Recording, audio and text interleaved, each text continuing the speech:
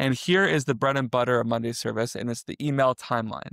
So here I'm able to see the entire thread uh, throughout the history of the ticket. And here, as you can see, it's a huge pop up.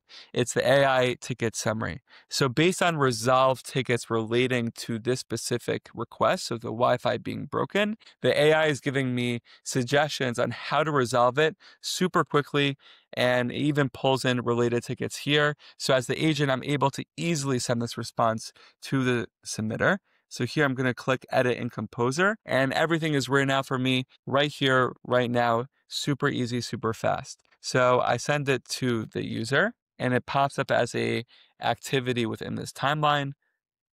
And now as the submitter, you're able to see this reflected here within the ticket. So the support agent sends this response. I'm able as a submitter to basically check it and review it and mark it as resolved.